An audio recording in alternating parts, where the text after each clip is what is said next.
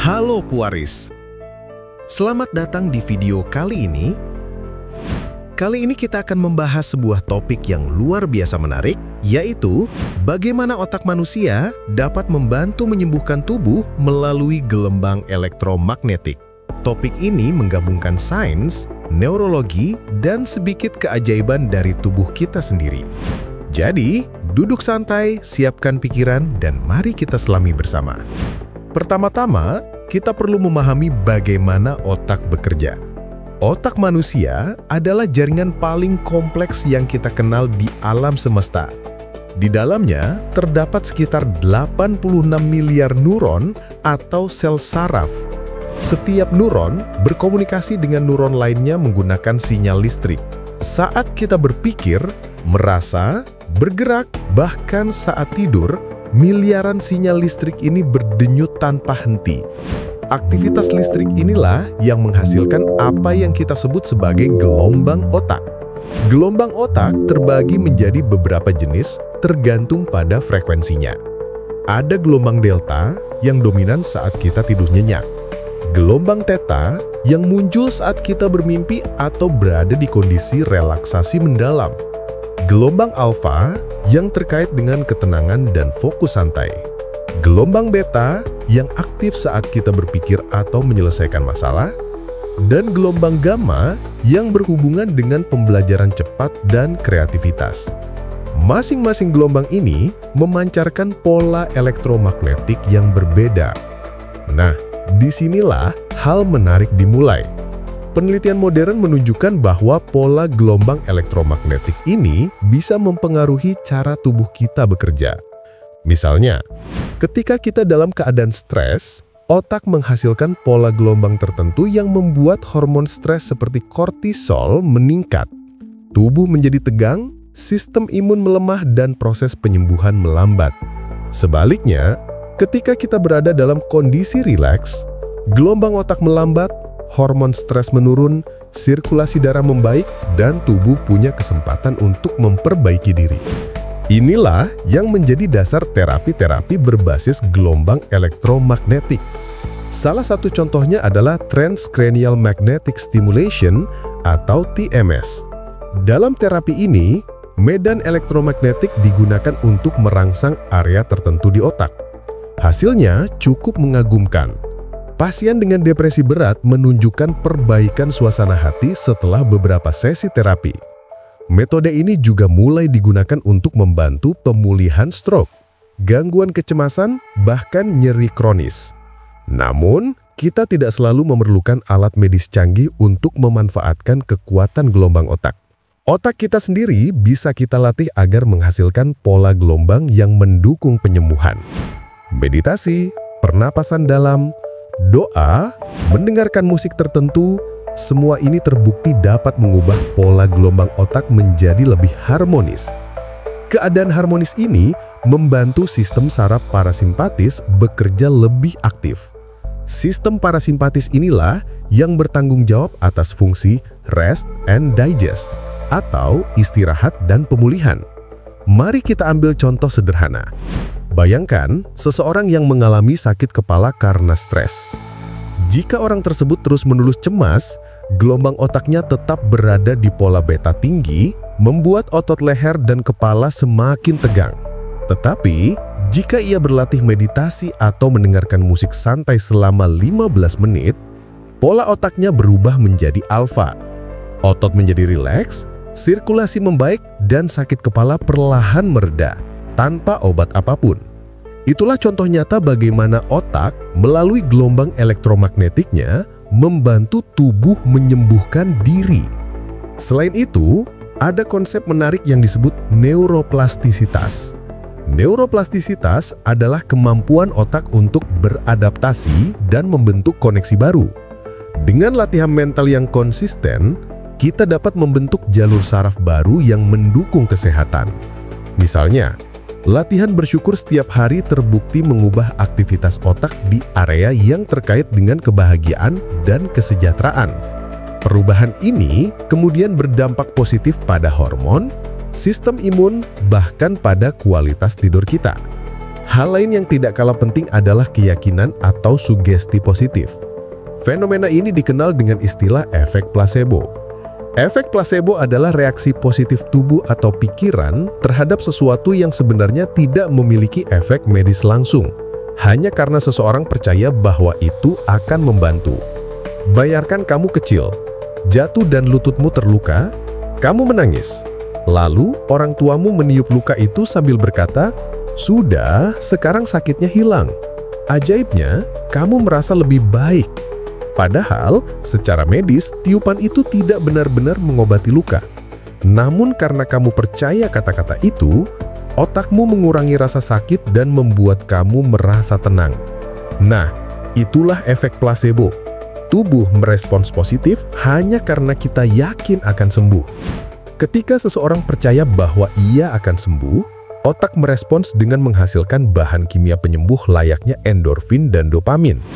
Tubuh pun benar-benar menunjukkan tanda-tanda pemulihan. Ini bukan sihir, tapi bukti betapa kuatnya hubungan antara pikiran dan tubuh. Tentu saja, kita perlu berhati-hati agar tidak berlebihan. Gelombang otak bukanlah obat ajaib yang langsung menyembuhkan semua penyakit. Namun, mereka adalah bagian penting dari proses penyembuhan alami yang dapat kita optimalkan. Dengan pola hidup sehat, manajemen stres, tidur yang cukup, dan latihan mental seperti meditasi, kita dapat membantu otak menciptakan lingkungan yang mendukung kesembuhan. Jadi, otak kita memiliki kemampuan luar biasa untuk mempengaruhi kesehatan tubuh melalui gelombang elektromagnetiknya.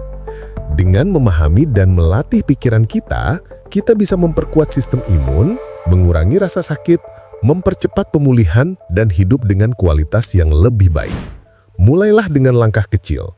Tarik napas dalam-dalam, ciptakan ketenangan dalam pikiran, dan biarkan otak membantu tubuh melakukan tugasnya. Jika kita melihat lebih dalam, efek placebo memberi kita satu pelajaran penting. Pikiran manusia memiliki peran besar dalam proses penyembuhan. Keyakinan, Harapan dan ketenangan batin bisa membuat tubuh melepaskan zat penyembuh alami. Menariknya, konsep ini ternyata sudah dikenal sejak zaman kuno. Banyak peradaban percaya bahwa penyembuhan tidak hanya datang dari obat atau ramuan, tetapi juga dari energi yang tak terlihat. Inilah yang melahirkan sosok-sosok penyembuh atau healer dalam berbagai budaya di dunia. Para healer ini dipercaya mampu menyalurkan energi untuk memulihkan kesehatan orang lain. Sebuah konsep yang dulu dianggap mistis, tetapi sekarang mulai dapat dijelaskan melalui ilmu pengetahuan, misalnya melalui peran gelombang otak dan medan elektromagnetik tubuh. Dalam banyak kebudayaan kuno, ada sosok yang dikenal sebagai penyembuh atau healer. Mereka dipercaya mampu menyembuhkan sakit hanya dengan sentuhan tangan, doa, atau ritual tertentu. Pada zaman itu, sains modern belum ada, sehingga kemampuan mereka dianggap mistis atau ajaib. Jika kita melihat dari sudut pandang ilmu pengetahuan sekarang, ada kemungkinan mereka sebenarnya memanfaatkan energi elektromagnetik tubuh. Tubuh manusia memang menghasilkan medan elektromagnetik lemah, terutama dari otak dan jantung. Saat seorang penyembuh fokus, bermeditasi, atau berdoa, gelombang otaknya bisa berubah ke pola yang sangat teratur, seperti gelombang alfa atau theta.